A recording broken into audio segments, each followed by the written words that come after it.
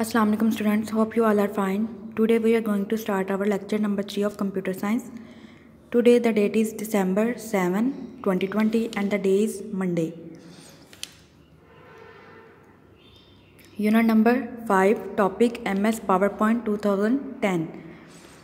students हमने पहले जो है फोर क्वेश्चन किए थे अब हम लोग करेंगे question number five what is slide slide क्या है? A slide is a collection of pages arrangement in sequence that contains text and images for presentation to an audience slide जो है, वो कलेक्शन होती है पेजेस की, जिसकी, उन पेजेस की जिसके ऊपर हमारा टेक्स्ट और हमारी इमेजेस होती हैं जो हम लोगों ने अपनी ऑडियंस को कन्वे करनी है। प्रेजेंटेशन हम अपनी हम अपने जो टेक्स्ट और इमेजेस प्रेजेंट करते हैं, वो सारा कुछ जो है, वो उन पेजेस पे होता है उन पेजेस को हम लोग कहते हैं स्लाइड ये देखें स्टूडेंट्स ये है हमारे पास एक स्लाइड इसके ऊपर हम लोग अपने टेक्स्ट और इमेजेस ऐड करेंगे. इस पेज को हम लोग स्लाइड कहते हैं. The next question is what is theme theme क्या है?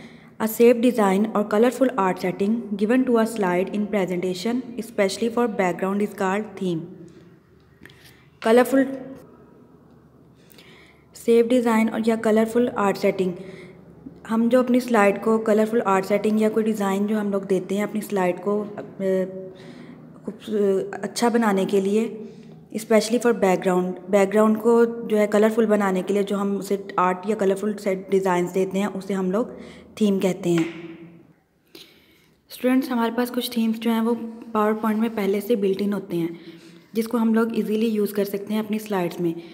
ये देखिए, हमारे पास जो है, हम लोग सबसे पहले फ़ाइल पे क्लिक करेंगे देन न्यू पे, और न्यू से हम लोग थीम्स हम पे सिलेक्ट करते क्लिक करेंगे तो हमारे पास ये डिफरेंट थीम्स आ जाते हैं। इसमें से कोई एक थीम हम अपनी प्रेजेंटेशन स्लाइड्स के लिए सिलेक्ट कर सकते हैं, और उसे अपनी प्रेजेंटेशन में ऐड कर सकते हैं, जिससे हमारी प्रेजेंटेशन जो है, वो कलरफुल बन जाएगी और दिखने में अच्छी होगी।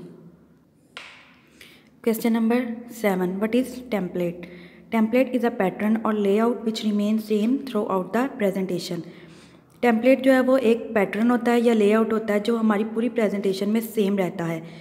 इसे हम लोग अपने पैटर्न को चेंज नहीं कर सकते। एक दफ़ा जो हम पैटर्न चूज़ कर लेते हैं, पूरी प्रेजेंटेशन में वही पैटर्न रहता है, हम उसे चेंज नहीं कर सकते। इसे हम लोग कहते हैं टेम्पलेट। स्टूडेंट्स, जिस तरह से हम लोग थीम जो हमारे पास बिल्ट इन होते हैं पहले से पावर पॉइंट में, इसी तरह हमारे पास डिफरेंट टेम्पलेट्स भी पहले से अवेलेबल होते हैं। हम उसमें से भी कोई एक टेम्पलेट को चूज़ कर सकते हैं। आपने सबसे पहले फ़ाइल पर क्लिक करना है देन न्यू न्यू से हम लोग जाएँगे टैंपलेट और हमारे पास ये डिफरेंट टैंपलेट्स आ जाएँगे। ये देखें, इसमें है पहला क्लासिक फ़ोटो एल्बम इस टेम्पलेट को अगर हम लोग चूज़ करते हैं, ये देखें, जब हम इस टेम्पलेट को चूज़ कर लेंगे तो हमारी पूरी की जो इतनी भी प्रेजेंटेशन की जितनी भी स्लाइड्स होंगी, वो सारे इसी पैटर्न को फॉलो करेंगी। पैटर्न को टेम्पलेट को चूज़ करने के बाद हम लोग क्रिएट पर क्लिक करते हैं, और ये जो हमारे पास जो पैटर्न है, ये हमारा सिलेक्ट हो जाता है और हमारी पूरी की पूरी प्रेजेंटेशन इसी टेम्पलेट पर क्रिएट होती है।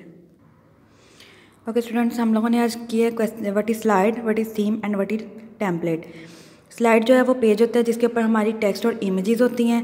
थीम जो है वो हमारे पास एक कलरफुल डिज़ाइन जो हम लोग बैकग्राउंड को देते हैं, उसे हम लोग थीम कहते हैं।